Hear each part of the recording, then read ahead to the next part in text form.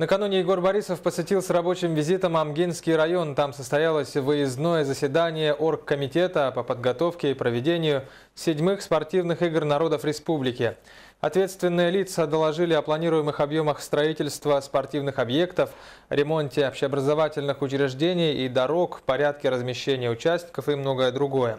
Соревнования будут проходить по 16 видам спорта, в том числе адаптивным видам, это легкая атлетика и волейбол сидя. Глава республики поручил членам правительства тщательно и ответственно подойти к организации игр, создать проектный офис по подготовке и проведению этого мероприятия.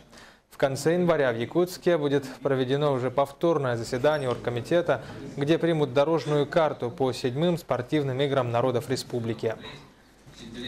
Седьмые спортивные игры народов республики мы будем проводить. Здесь сомневаться не стоит. Такие мероприятия, они э, сегодня э, объединяют народ, настраивают народ на позитивный лад.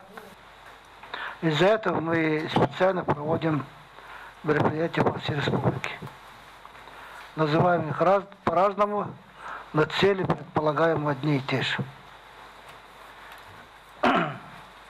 Во-вторых, плохо, конечно, что до сих пор не определены, какие объекты должны быть, какие э, мы должны задействовать.